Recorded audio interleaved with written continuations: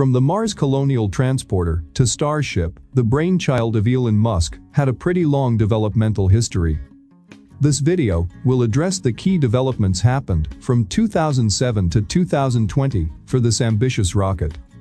So, let's dive into rocket science. Everything started in 2007 when Musk stated a personal goal of enabling human exploration and settlement of Mars. The launch vehicle was initially mentioned in public discussions by the SpaceX CEO, Elon Musk, in 2012, known as Mars Colonial Transporter. Also, SpaceX began development of its Raptor rocket engine in the same year.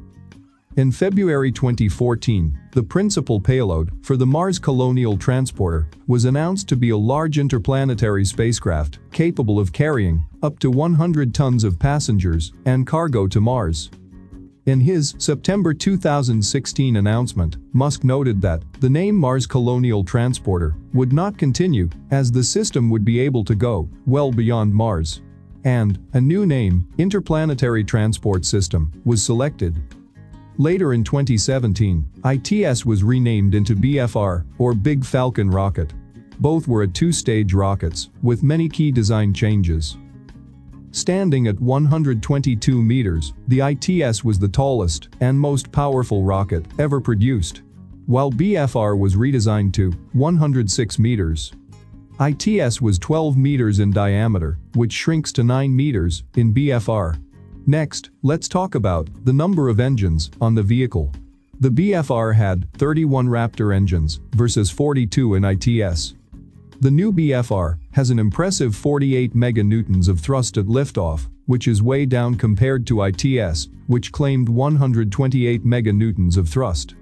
Lastly, payload capacity to low Earth orbit. The BFR can put 150 tons into orbit compared to the ITS, which could do 300 tons. In engineering, changes brings better technologies.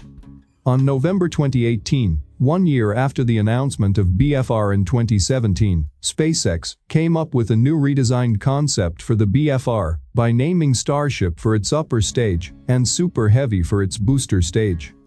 Musk pointed out that the booster stage was needed to escape Earth's deep gravity well, but not needed for other planets or moons.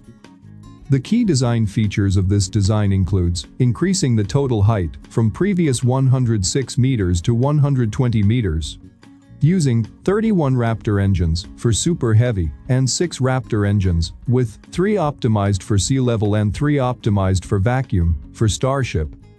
Subcooled methane and oxygen became the fuel, and the oxidizer powering the mission. Methane, which can be easily manufactured on Mars by using carbon dioxide from Martian atmosphere, became the right choice for fuel. In January 2019, Musk announced that the Starship would no longer be constructed out of carbon fiber. Instead, SpaceX will use stainless steel to build the Starship. Musk cited several reasons, including cost, strength, and ease of production, to justify making the switch. SpaceX immediately started the construction of prototypes. By late May 2019, the first prototype, Starhopper, was preparing for untethered flight tests in Boca Chica, South Texas. While two orbital prototypes were also under construction. The two ships were constructed by competing teams that were required to share progress, insights, and build techniques with the other team, but neither team is required to use the other team's techniques.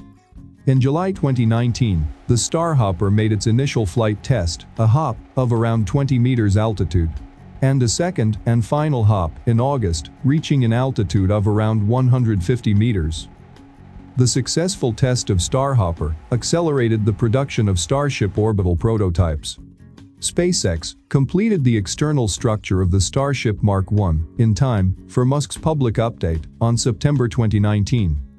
But, on 20th November 2019, the Mark 1 test article came apart in a tank pressure test in Texas.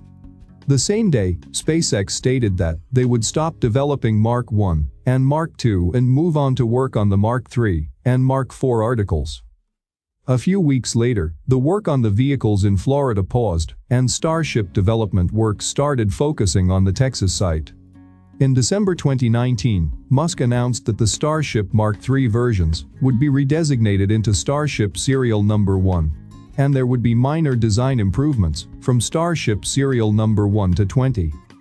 SpaceX began construction of the internal components for the vehicle in December 2019 and started stacking serial number 1 at Boca Chica two months later.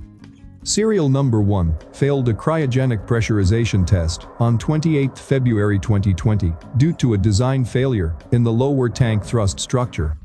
After the incident, SpaceX announced that they were focusing their efforts on the next test article, Starship Serial Number 2, and conducted a successful test of Serial Number 2 tank structure on 8 March 2020. Later, Starship serial number 3 was planned to be used for static fire tests and short hops, while serial number 4 for longer flights. Starship serial number 3 was destroyed during testing on 3 April 2020. The cause of the failure was a testing configuration error.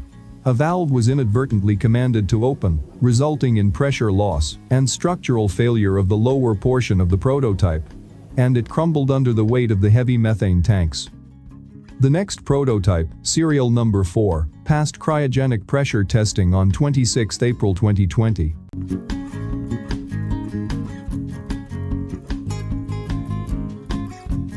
But, it was destroyed on 29 May 2020 after a successful static fire test of its single Raptor engine due to a failure with the ground support equipments.